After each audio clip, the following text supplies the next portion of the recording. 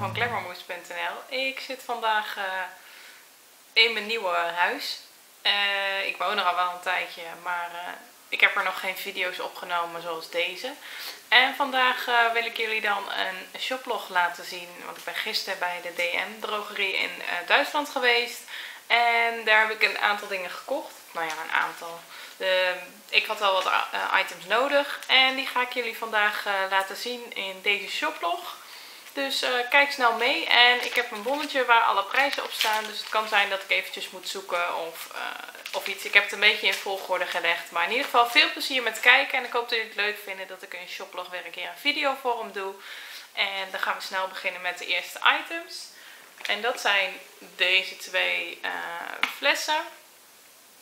je kent van Garnier misschien wel de Loving Blends lijn.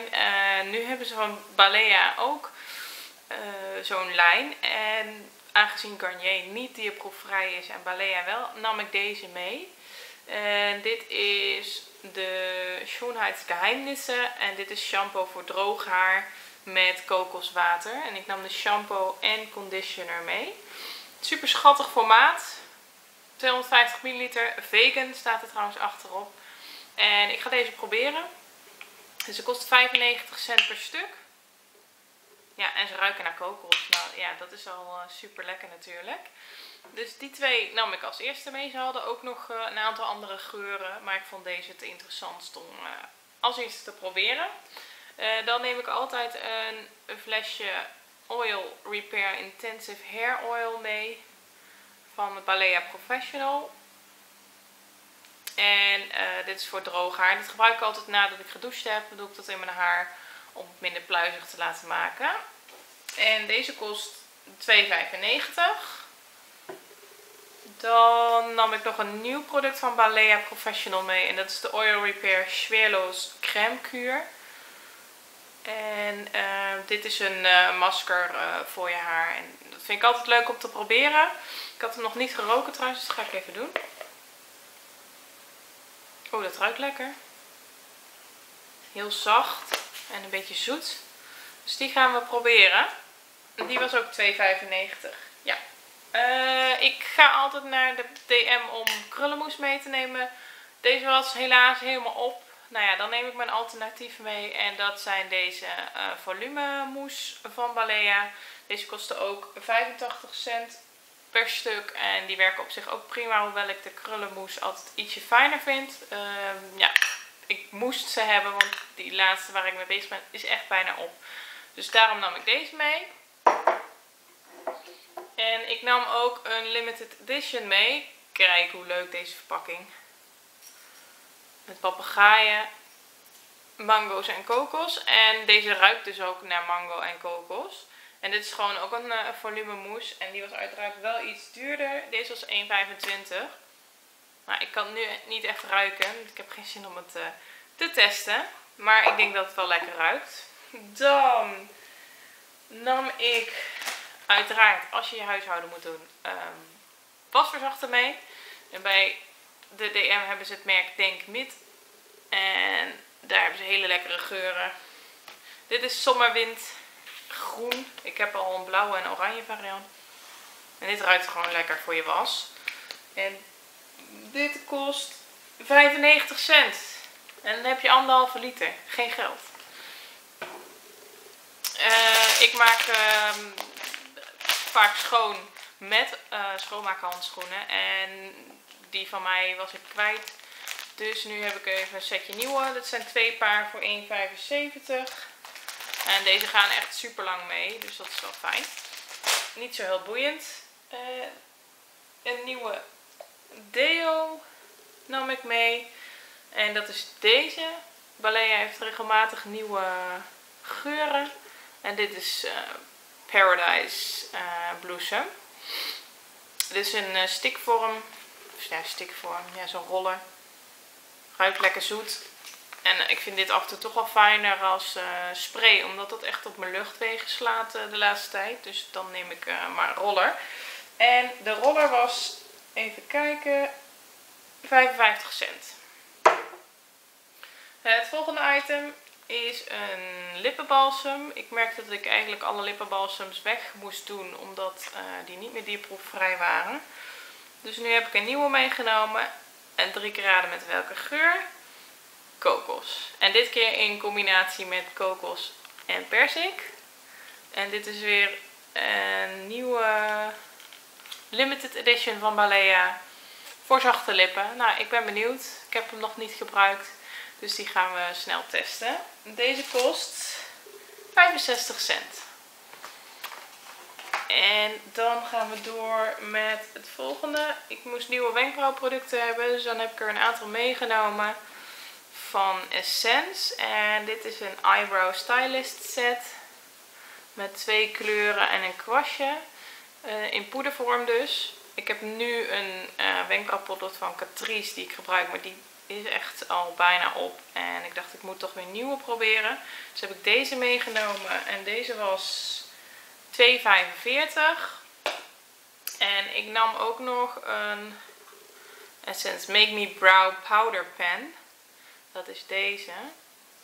Ik ga hem eventjes laten zien. Want ik vond het wel grappig eruit zien. Het is dus zo'n bolletje waarmee je het aanbrengt. Dus die ga ik ook testen. En ik hoop dat ik de goede kleur heb meegenomen. Want deze kostte 2,45 ook.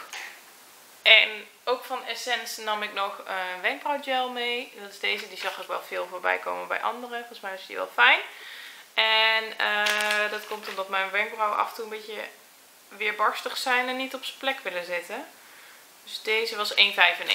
Uh, is ook voor je wenkbrauwen, uh, voor je wimpers. Maar ik ga geen gel op mijn wimpers aanbrengen. Dus ik weet niet wie dat wel doet. Maar goed, 1,45 zei ik. Even kijken. 1,95, sorry. En van Alverde Natuur Cosmetic nam ik dit product mee. Ik was eigenlijk bij de concealers aan het kijken en toen dacht ik, ja, dat heb ik niet nodig. Maar toen zag ik dit product. En dit product heeft twee kanten. De eerste kant is een Wake Up Effect Coffeine Serum. En aan de andere kant heb ik een Eye Brightening Concealer. Dit is een duo. En dat is dus uh, de eerste breng je dan aan met dat bolletje op je ogen. Moet dan dus een wakker effect geven. En dan heb je een roze concealer. Dus ik was hier wel heel benieuwd naar. En toen dacht ik, nou ja, ga hem gewoon testen. En wie weet uh, is het wel een goed product. Dus dan ga ik even kijken wat deze kost. Hmm. 3,95. En dan heb ik nog een serum meegenomen van Balea uh, voor mijn gezicht. Matterend en poriën verfijnend. Deze zag ik ook nieuw. Dus ben ik altijd wel nieuwsgierig naar, naar uh, verzorgingsproducten voor het gezicht van Balea. En deze kostte hmm, 2,95. En ik heb ook een anti-pickle serum van Alverde meegenomen. Omdat ik de laatste tijd weer wat puistjes hier heb. En ik heb ze eigenlijk altijd alleen maar hier.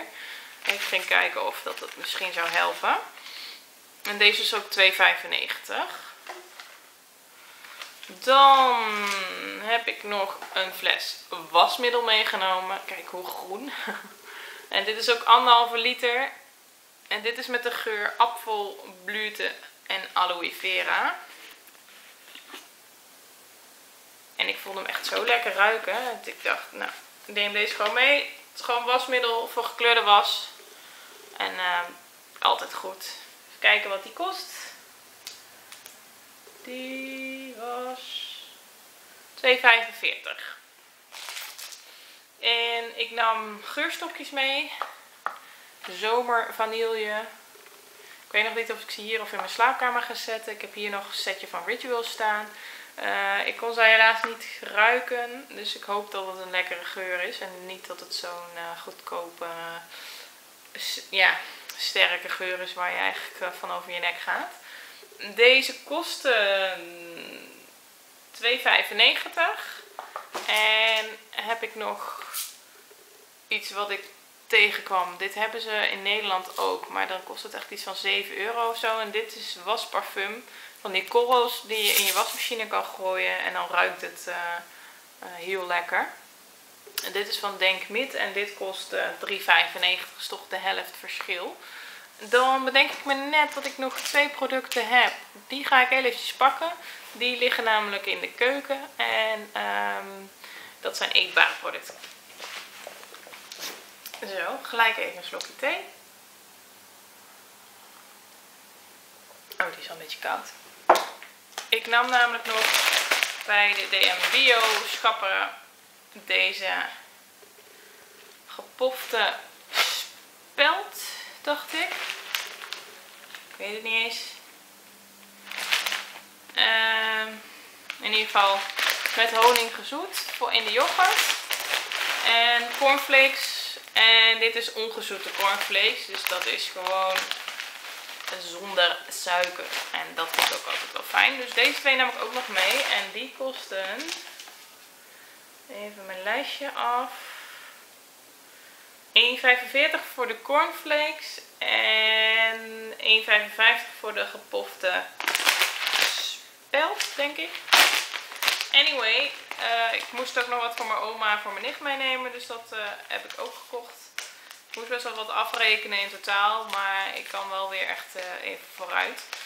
Dus dit waren alle aankopen van de DM. Als je het leuk vindt om ergens een review van te zien, laat het even weten in de comments. Dan kan ik kijken of